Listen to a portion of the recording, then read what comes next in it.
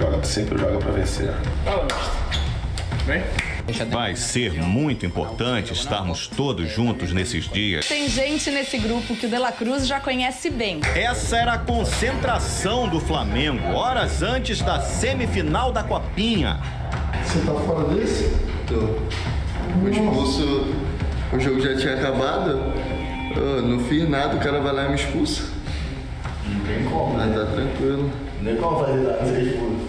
Comemorar assim também. Que isso, filho? Não pode comemorar não? Proibida a comemoração no futebol? Vou brocar o vídeo. Como é que é o rolê? Vou brocar o vídeo.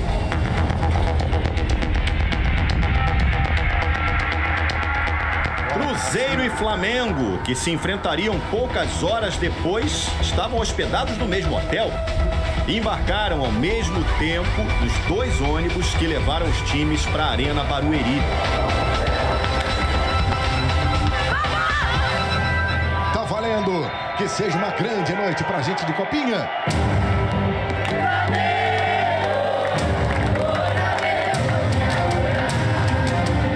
O primeiro tempo teve mais chances para o Flamengo. Wallace Ian, que tinha dito que ia jogar muito,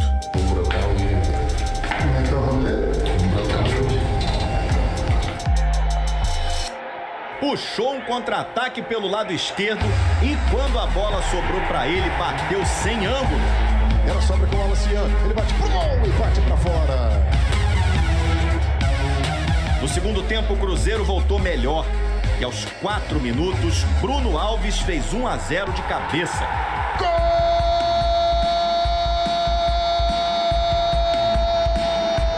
Aberto o placar na Arena Barueri. O Flamengo reagiu e empatou aos 12 minutos com o Wellington.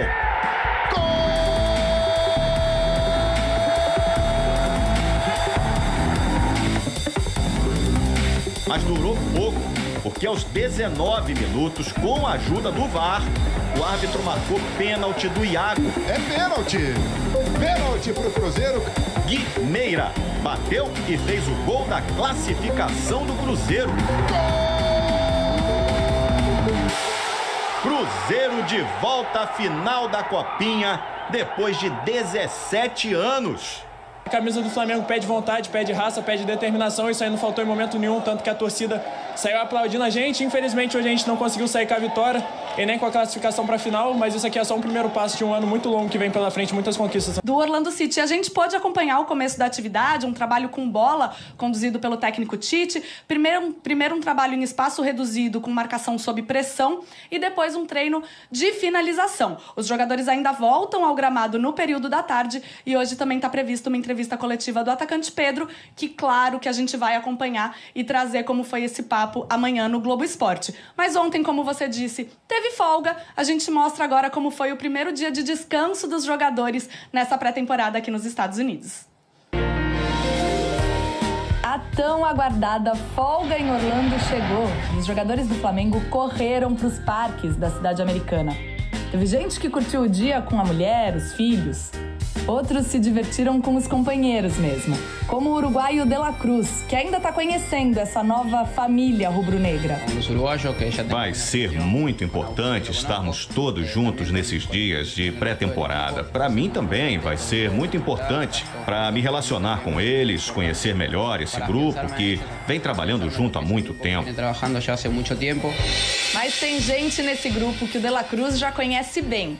Nos tempos de River Plate, ele estava acostumado a enfrentar o goleiro Rossi, que defendia o Boca Juniors. E pela seleção uruguaia, frequentemente divide as convocações com o Varela e com o Arrascaeta. Na estreia com a camisa do Flamengo no domingo, os dois meias uruguaios jogaram juntos, formando uma dupla no meio-campo. A gente já se conhecia, temos treinado muito na, na seleção.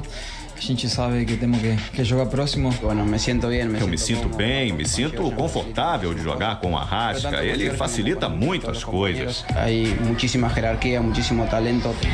E ainda tem mais um compatriota chegando ao grupo. Um cara que também costuma ser chamado pelo técnico Marcelo Bielsa para defender a Celeste. Matias Vinha! Uma